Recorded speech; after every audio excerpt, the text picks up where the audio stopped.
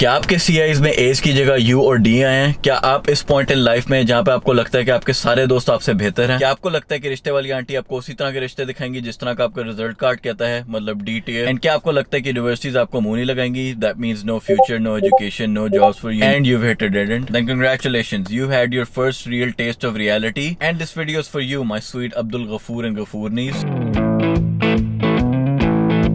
Video start करने से पहले बॉयज़ एंड गर्ल्स जल्दी से इस वीडियो को कर दें लाइक और इस चैनल को कर दें subscribe because your boy Musa Khan is about to drop some gems and of course I upload juicy ass vlogs तो what you have to lose now when I said you had your first test of reality what I mean is that nothing goes as planned in this accursed world ये actually line है from my favourite show Naruto लेकिन this is really true you finally hit that edge where you realise कि nothing is going as planned you know क्योंकि बचपन से you had a certain path I mean आप पैदा हुए, आप nursery में गए, आप किंडरगार्टन में गए, फिर 1 2 3 4 क्लास से लेके आपने की ओ लेवल्स ओ लेवल्स के आपने की ए लेवल्स लेकिन now that you have completed your A levels you are lost and the worst part is you are starting off with bad grade इसको एक एनोलॉजी में कन्वर्ट करते हैं. For example मैं आपको पकड़ता हूँ अब्दुल गफूर को, ठीक है, और आपको मैं छोड़ देता हूँ फैंटेसी लैंड में जहाँ पे ड्रैगन वगैरह सब कुछ चीज़ें ठीक है? अब सर्वाइव करने के लिए आपको मैंने सोल्ड शील के बजाय आपके हाथ में दे दिए बंदर नचाने वाला छनछना, ठीक है? नाउ इस केस में sword and shield is your A grade after A levels and बंदर नचाने वाला छंचना इज़ योर डी ग्रेड और यू ग्रेड अब गौर फरमाए जो मैं आपको चीज़ बताने वाला है बहुत इंपॉर्टेंट चीज़ है। लेट से यू आर दैट गाय और यू आर दैट गर्ल जिसके हाथ में बंदर नचाने वाला छंचना है, ठीक है? अब इस केस में you can be two types of people ठीक है? पहली तरह का बंदा है, बंदी होगी, वो ऑब्वियसली देख के कहेगी बंदर नचाने वाला छंचना क्यों दे दिया यार? मुझे मेरे सारे दोस्तों के पास सोर्ड है शील्ड है कैनन है, मेरे पास क्या हाथ में बंदर नचाने वाला इससे मैं क्या करूँगा? मैं कोई ड्रैगन के सर पर ढोल की थोड़ी फाड़ूँगा जाके। एक तरफ़ दूसरा बंदा है जो कहता है you know word this shit sucks, but what I'm gonna do is I'm gonna go into a forest, ठीक है, मैं बंदर ढूंढूँगा वहाँ से, बंदर को शहर में लेके जाऊँगा, और बंदर को उस बंदर नचाने वाले छन से नचाऊँगा, और उसमें से जो सिक्योर पैसे आएँगे ना, उस सिक्योर थैली को मैं किसी जोली में लेके जाऊँगा, एक सोर्ट्समिथ के पास, और जाके वहाँ से सोर्ड और एक शील्ड अपनी मर्ज़ी का लूँगा and that's one I can start my journey and trust me मैंने से दिस के A level is not any different for example मेरा एक दोस्त है यार, ठीक है, हम जब ना सी दे रहे थे ना ए लेवल्स के अंदर तो मुझे याद है वो रोज सुबह आता था, वो कहता था, यार मेरी बड़ी बॉम्ब तैयारी है, मैं बहुत अच्छी तैयारी करके आऊँ सारी रात में तैयारी कर रहा था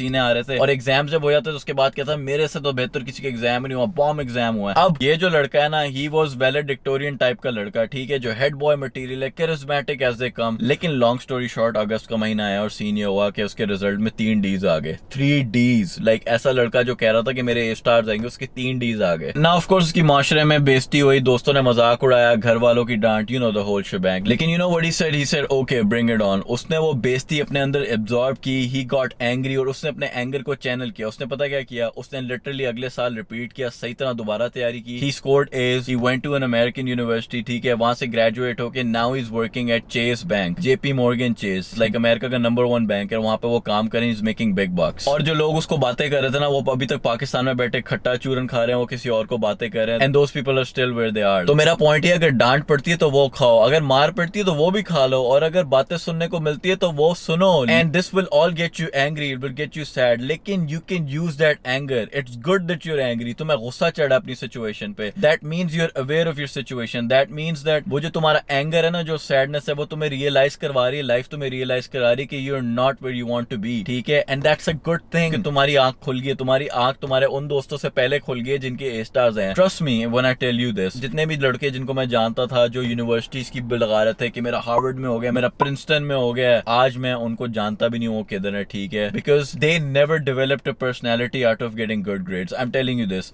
और मैं उनको डिस नहीं कर रहा लड़कों को जिनके अभी गुड ग्रेड्स हैं एज ले रहा है more power to you of course you guys are great मतलब माशाल्लाह, बड़ी बात है आप लोगों ने एज लिए हैं। लेकिन मैं बात करूँ कि बहुत से ऐसे लड़के जिनको मैं जानता हूँ, उन्होंने गुड ग्रेड्स लिए थे ना when I talk to them और when I see them they have no other personality because they have been following a certain path and they never had to take an L in life but you know who I genuinely remember the most वो ले लड़के जिनको failure मिला था life के अंदर and they use that failure as a wake up call and change their life forever सबसे best solution इसका ये अगर तुम्हें लगता ना कि तुम्हारे साथ जाती हुई तो literally like go and repeat O levels nothing wrong with अगर तुम्हारा साल जाया होता है कोई मसला नहीं यार। मतलब कि दुनिया चलती रहती है नो बडी केयर्स बट अगर तुम्हें लगता है कि यार तुम एजुकेशन में नहीं अच्छे तो ठीक है ट्राई समथिंग एल्स बट ये बहाना नहीं देना कि यार मैं एजुकेशन में हूँ ही नहीं अच्छा मुझे लगता है I am not good enough मेरे कज़न मेरे दोस्त उनसे बेहतर है. अंटिल एंड तुम्हें अपना पूरा दिया इसके अंदर, तब तक तुमने दूसरे वेन्यू के अंदर नहीं जाना। क्योंकि अगर तुम इसके अंदर अपना पूरा नहीं दोगे ना देन तुम दूसरी चीज़ में भी जाकर अपना पूरा नहीं दोगे and you'll always find excuses. And Abdul Ghafoor यार अभी तुमने ज़िंदगी क्या ही जी है यार अभी तुम लोग हो गए अठारह साल के हो गए, उन्नीस साल के हो गए, ठीक है? अभी तो बड़ी चीज़ें आनी है ज़िंदगी के अंदर और अभी आगे ज़िंदगी और एक्साइटिंग और मज़े की होगी। ज़िंदगी बुरी नहीं होगी। ज़िंदगी में भी बहुत मज़े मज़े के चैलेंजेस आएँगे, बहुत मज़े मज़े की चीज़ें होंगी। जब आप उन चीज़ों से गुजर रहे होगे ना, आप इस चीज़ों के बारे में सोचोगे नहीं, क्योंकि ट्रस्ट मी यार I am twenty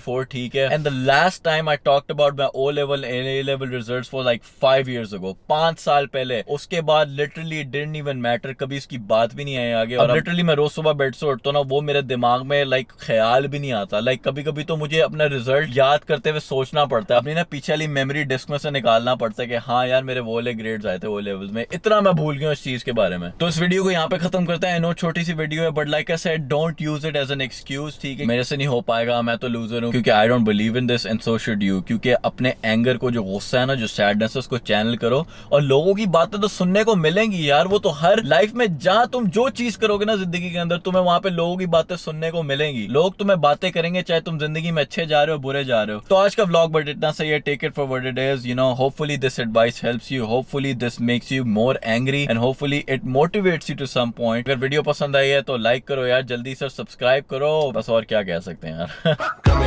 Go ahead, be gone with